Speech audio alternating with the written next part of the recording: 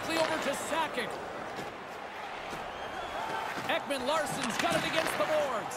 Hammers the shot. He scores! A friendly puck scooped up by Gretzky.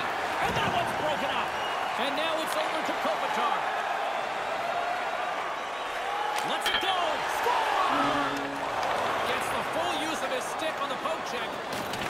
Edmonton's got possession here in the offensive zone. He scores!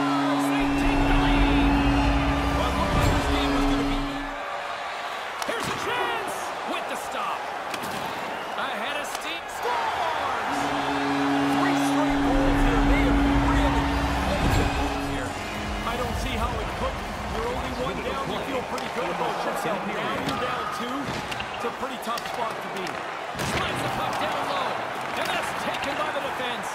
Set it out in front. He scores! And the hockey equivalent of a Give him a little hook, and he gives that pop.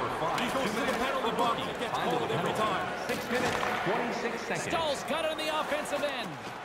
A chance on goal. Sakic's won it.